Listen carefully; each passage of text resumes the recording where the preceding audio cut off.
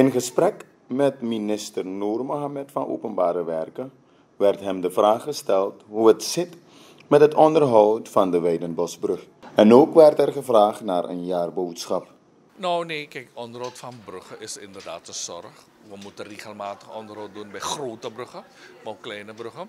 We hebben nu een proposal ingediend om financiering te gaan zoeken om inderdaad heel veel van die bruggen een onderhoudsbehandeling te kunnen geven. Ook de stalen bruggen hebben ook een beurt nodig. Uh, maar voor de algemeenheid hoeft niemand zich zorgen te maken over de grote bruggen. Die zijn vaak ontworpen onder de hoogste, strengste bouwnormen. Dus dat ziet er voorlopig goed uit. Maar je moet soms wat onderhoud doen, dat is waar. Dus we hoeven dus eigenlijk geen vrees te hebben dat uh, anytime een, een, een, een storting of scheuring, grote scheuring komt bij de brug. Want het is eigenlijk de belangrijkste brug op dit moment in Suriname? Ja, nee, nee, we hoeven ons geen zorgen te maken. Hij is daarvoor ontworpen, heel stevig. Maar ik zeg wel, je moet een tweede brug altijd hebben. Want je weet nooit dat je whatever opstoppingen kan hebben. Daarom doen we ons ervoor dat die tweede brug moet komen. Um, en dat geldt eigenlijk landelijk. Toch? Want we hebben ook maar één brug over de Koppenhaamrivier. We hebben ook maar één Oost-West-verbinding. We hebben geleerd in 2022, toen de overstroming er was, dat je gewoon niet kon rijden op die Oost-West-verbinding. Er was één meter water. Dat is de reden waarom ik nu de investering doe om de weg Mata-Apora, die tweede Oost-West-verbinding is, uh, te gaan ontwikkelen in de tijd. Dat is de reden de achtergrond, of één van de redenen achtergrond. Want met die weg, als je die weg uh, de komende tien jaar goed gaat rehabiliteren, zelfs verharden in PPP-verband, dan uh, kom je uit op Apora. En je kan dus ook naar de districten op een of andere manier gaan. Mogen we toch nog een jaarboodschap van u? Ja, jaarboodschap is het volgende. Dat we natuurlijk de gemeenschap eerst willen bedanken. Je moet weten dat veel wat we hebben gedaan komt vanuit burgers die hun klacht doorgeven. Dus we gaan de oproep doen, blijf u eerst uw klacht doorgeven. Sommige van onze units werken perfect.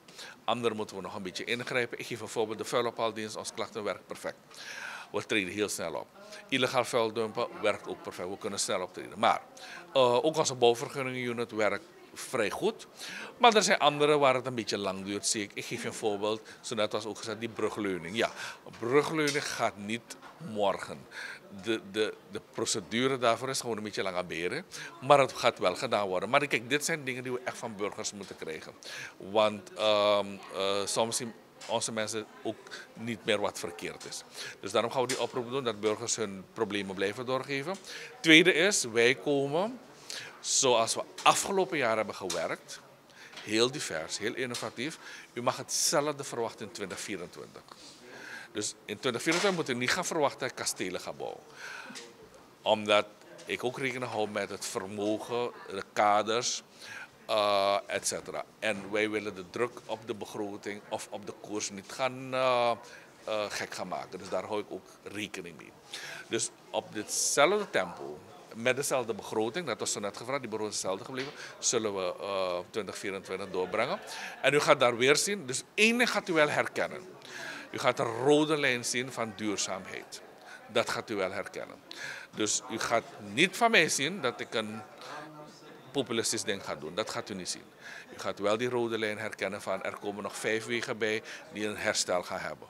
Mag je honderd wegen? Ik ga het gelijk zeggen, want dat, dat is dat ding van populisme. Nee, er gaan maar vijf, tien wegen bij komen. Ik ga het eerlijk zeggen. Mag geen honderd uit de lucht. Dat gaat niet gebeuren.